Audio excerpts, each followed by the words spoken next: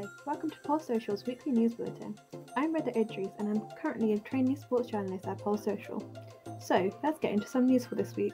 First of all, we had the pleasure of interviewing Pulse Social's project management intern, Andrew Reynolds, about his interest in sports, as well as his current project, the Newham Disability Project. Check out the blog post and the podcast that will include more information on this. In another upcoming blog post, we spoke about the impact community sports can have on social development.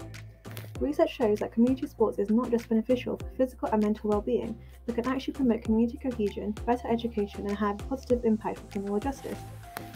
The blog explores how these developments can be seen in society, from the impact of the COVID 19 pandemic and sports in school, as well as exploring how the inclusivity and accessibility of community sports groups can further this social development.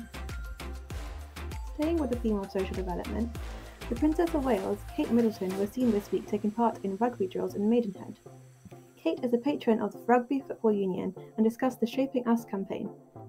This campaign focuses on raising awareness of the importance of community settings in early years childhood development and stresses the importance of the impact sports clubs can have. Kate was seen previously at the Twickenham Stadium last year, where she joined an England rugby training session after confirmation of her role in the Rugby Football Union. Moving on to cricket, this week saw the announcement of that Moeen Ali will return to the Test cricket for the Ashes after nearly two years of being retired from the red ball game. The Ashes will begin next week in Birmingham on Friday the 16th of June.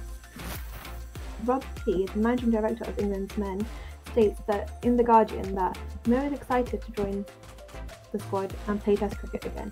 His vast experience, all along with his all-round ability, will benefit our Ashes campaign.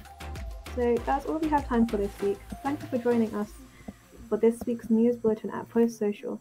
See you again next week.